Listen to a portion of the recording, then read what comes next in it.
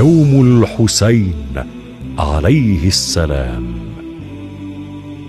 قال الإمام الرضا عليه السلام إن المحرم شهر كان أهل الجاهلية يحرمون فيه القتال فاستحلت فيه دماؤنا وهتكت فيه حرمتنا وسبي فيه ذرارينا ونساؤنا.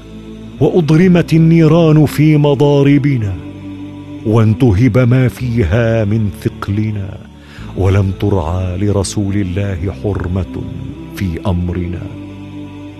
إن يوم الحسين أقرح جفوننا وأسبل دموعنا واذلن عزيزنا بأرض كرب وبلاء وأورثتنا الكرب والبلاء.